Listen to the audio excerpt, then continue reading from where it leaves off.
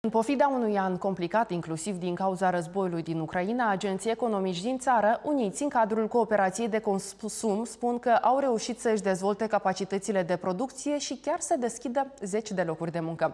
Asta a dat posibilitate multor moldoveni plecați la muncă peste hotare să revină în țară și să-și găsească o ocupație pe plac în satele de baștină. Acum, cooperatorii moldoveni pun mari speranțe și în începerea negocierilor de aderare a țării noastre la Uniunea Europeană.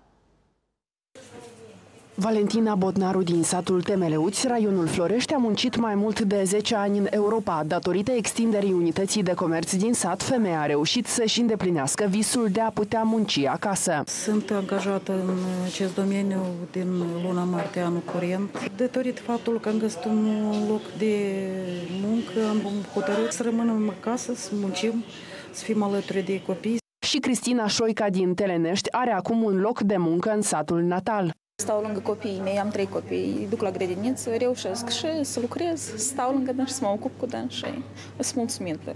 Avem condiții. La momentul de față găsim tot, și legume, și fructe permanent. Nu trebuie să plecăm la oraș.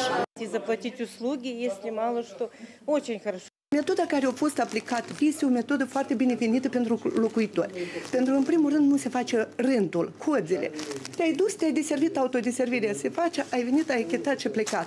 Cooperația de consum, pe lângă comerț, pune accent pe procesarea producției și acordarea de diverse servicii, spun antreprenorii. Deschiderea producerii ne-a dat posibilitatea să mărim uh, locurile de muncă, să îmbunătățim nivelul de viață și salariile care le primesc lucrătorii, de a dat posibilitatea ca ei să rămână să muncească aici la, pe loc la noi.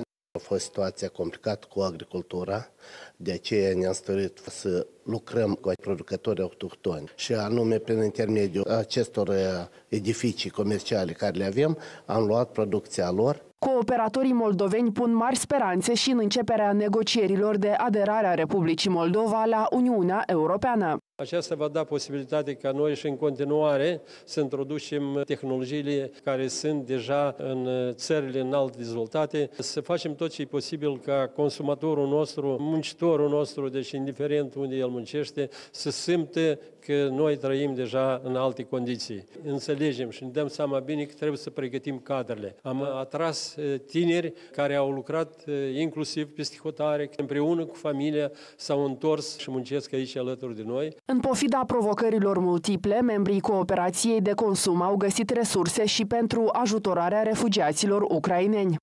Una din provocările anul 2023 a fost și cred că rămâne războiul din Ucraina. Pe lângă problema inflației, problema logisticii, aprovizionării cu mărfuri, a fost și pentru noi o provocare asigurarea cu hrană a refugiaților. Asigurăm circa 100 de refugiați. Bilanțul anului 2023 a fost făcut la o ședință a membrilor cooperației din țară. Un an nou cu mult succes le-a fost urat de o ceată de colindători de la Colegiul Cooperativist Comercial din capitală.